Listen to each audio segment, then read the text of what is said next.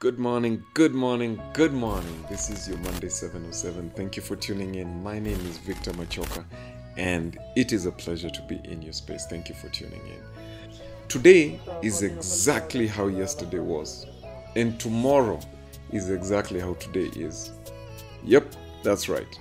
Your today is just a dry run for tomorrow, and yesterday is exactly how today is gonna be. Unless you do one thing, it's called review. So today I want to talk about the power of review. Okay. Now, review is something that is more, very often um, looked down upon.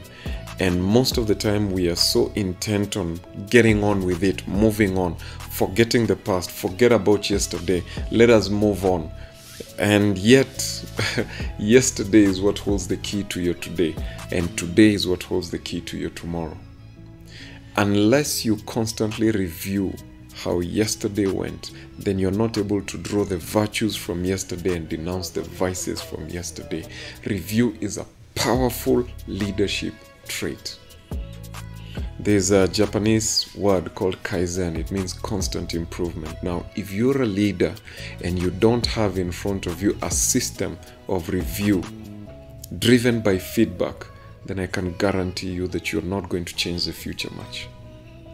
Everything that you see today is just a replication of what happened yesterday. And your business, if you want to know how your business is going to be tomorrow, you just need to look at your today. Today is a dry run for how your business is going to be tomorrow.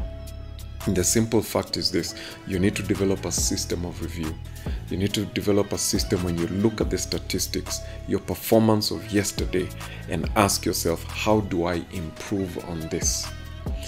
Anybody who is serious about value is in the business of trashing yesterday.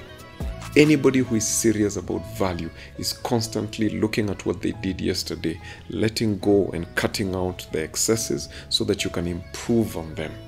And here's the powerful thing about value as long as your value is going up, there will always be a payday for you. You've heard me say this many times. Now, listen to me if you're an entrepreneur, if you're a businessman, if you're a leader anywhere, even if you're just leading yourself, your business is to improve yourself. And as long as your value is constantly improving, you do not need to attract people. If I drop a thousand shilling note on the street, even on a street that is muddy and dirty, people will begin to pick it up. Somebody will bend down and pick it up. Why? Because they've seen value inside that mud. Value has the ability to attract people.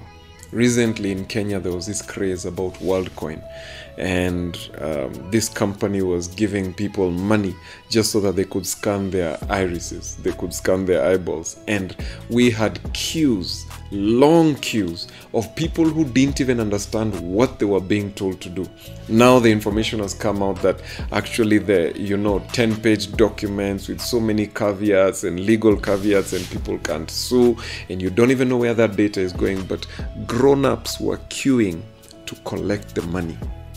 What's that? It's a law of value that as long as somebody is offering value, then somebody is willing to give whatever that person wants. Now, unfortunately, in this case, these people are probably not realizing that what they are giving is more valuable than the money that they are getting. So, as long as you increase your own value, you are going to attract buyers to your shop, whatever it is that you're doing. So, my question to you is Do you sit down and review? Do you sit down and have a system to look at your performance? Even if you're leading yourself alone, there are a number of things that you need to create a system of feedback. Number one, what are the statistics? What are the statistics? And let me tell you, it is hard to sit down and look at what you're doing and look at yourself. Trust me, one of the hardest things for me is to review footage of like this video that I'm shooting right now. It is so hard to review footage, to look at yourself and say, I got that wrong. I need to say that again. I need to repeat this shot. This was a wrong angle. I wasn't dressed right and all that. That is difficult stuff. But you know what? If you want to constantly develop, you have to find a way to look in the mirror. So, different things form part of your mirror package, your feedback system. Exams that you're sitting, you look at your exams and say, This is me. That is a reflection of who you are, that is a reflection of what you have. you look at the statistics that you have. If it is sales if it is performance. I mean when you go to the gym you come back and look at a weighing scale. That's a feedback mechanism. It tells you whether or not you're wasting your time and your money. Okay? So great leaders have a feedback system my question to you is do you know what your feedback system is are you constantly watching the figures? Are you watching the numbers? Can you tell whether you're constantly improving by daily reviewing your performance? All right. And when you do that, you will find growth.